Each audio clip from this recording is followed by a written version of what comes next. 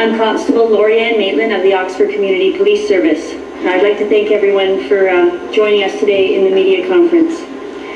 This morning, we will hear from our Chief of Police, Ron Fraser, from Oxford Community Police Service, and OPP's Criminal Investigative Branch Detective Inspector, William Renton. He will inform us of the present status of our investigation into the disappearance of Victoria Stafford.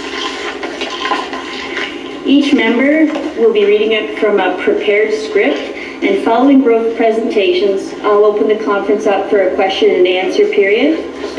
I must remind you that uh, this is an active police investigation. There are some questions that we may not be able to answer due to operational reasons.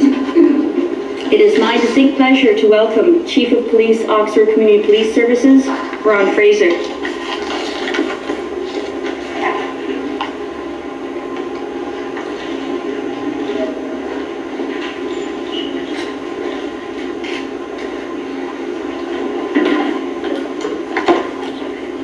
Good morning, ladies and gentlemen, and I'll also take the opportunity to say good morning to our community. I'm Ron Fraser, I'm Chief of Police of the Oxford Community Police Service, and I thank you for coming today to our media conference. With me is Detective Inspector William Renton, I call Bill, from the Ontario Provincial Police. On Wednesday, April 8th, is a day which has become known throughout the city of Woodstock and the county of Oxford and throughout our whole nation as the day that eight-year-old Victoria Stafford went missing on her way home from school in the area of Fife Ave and Waller Street in the city of Woodstock. I want to assure all the citizens of this community that our goal is and remains to locate Tori and reunite her with her family and her loved ones. Upon receiving the missing persons report, we immediately responded to the area where Tori was last determined that the information was credible and began securing evidence pertinent to the search. Members of our containment team, our uniform officers, assisted by our K-9 unit, were deployed to aid in that search area. Members of the Woodstock Fire Department were solicited and provided the use of their heat-seeking equipment to check the area where visibility was now compromised. Officers went door to door, systematically canvassing area residents and visibly checking many houses. During this period of time, all of our on-duty members, as well as all available off-duty members, were brought in to search for Tori. On Thursday, April 9th, our officers received a video footage secured during the investigation of what appeared to be a child matching the description of Tori walking with an unidentified adult female. Tori was identified later that day as being the child in the video, which was quickly distributed to all media and enforcement area agencies. There are very many parts of, to an investigation such as this. Realizing the need for many specialists, we solicited assistance from Waterloo Regional Police Service, Emergency Response Unit, their K-9 unit, their Public Order Unit, which include qualified search managers. London Police Service provided the same services as well as volunteers from the St. John's Ambulance London Search and Response Unit. In addition to this, we solicited the assistance of the Ontario Provincial Police Air Support Unit and a criminal investigative behavioralist to assist us in finding Tori.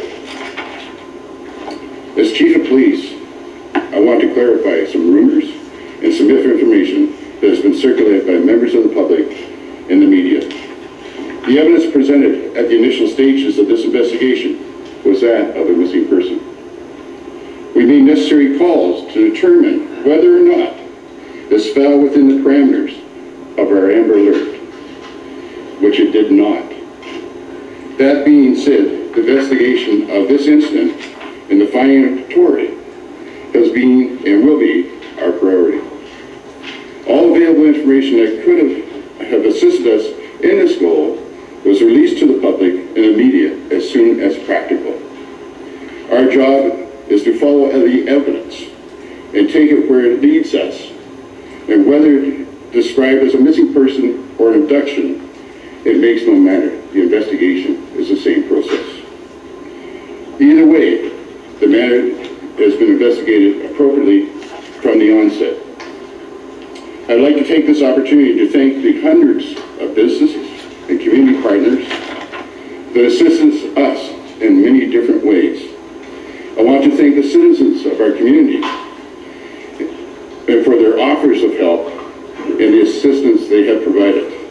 And as well, I'd like to thank you, the members of the media, for your ongoing support. I don't have to remind anyone that our collective goal of this community is to locate Tori and to bring her home to her loved ones. To that end, it is my pleasure to introduce you once again to the Inspector Inspector Bill Renton of the Ontario Provincial Police Criminal Investigations Branch. At my request, he will be assuming the role as an major case manager to work with the members of my police service, our officers, and their officers to locate Tori. Detective Inspector Renton brings with him a wealth of expertise that will help us accomplish that goal of finding. Good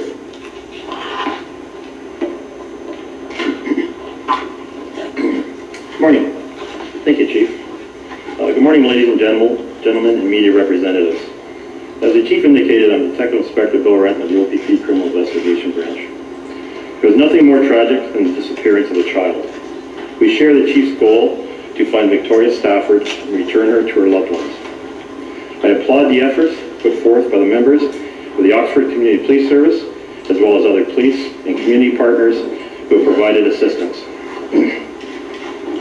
The OPP will be working in partnership with the Oxford Community Police Service and the community to find Tori. Cases involving missing or abducted children require a vast amount of resources and expertise in order to manage the wide range of tasks required to investigate them thoroughly.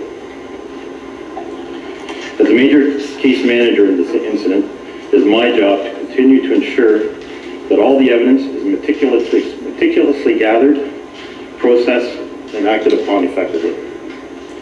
This will enable the investigating members to cohesively follow the evidence where it leads us in the hopes of finding Tori. Over the last few days, we have jointly uh, reviewed and analyzed the evidence collected and the investigative te- steps taken thus far. As a result of both the Oxford Community Police Service and the OPP, we're now considering this case a child abduction. As Chief Fraser indicated earlier, this will have no bearing on how we deploy our resources or change the focus of the investigation. Our focus remains to find Tori. We are confident that someone has information of Tori's whereabouts. We are asking you to do the right thing and contact police immediately.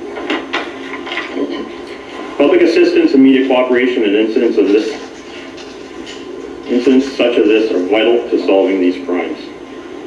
It only takes the smallest piece of information to provide police to enable us to locate Tori.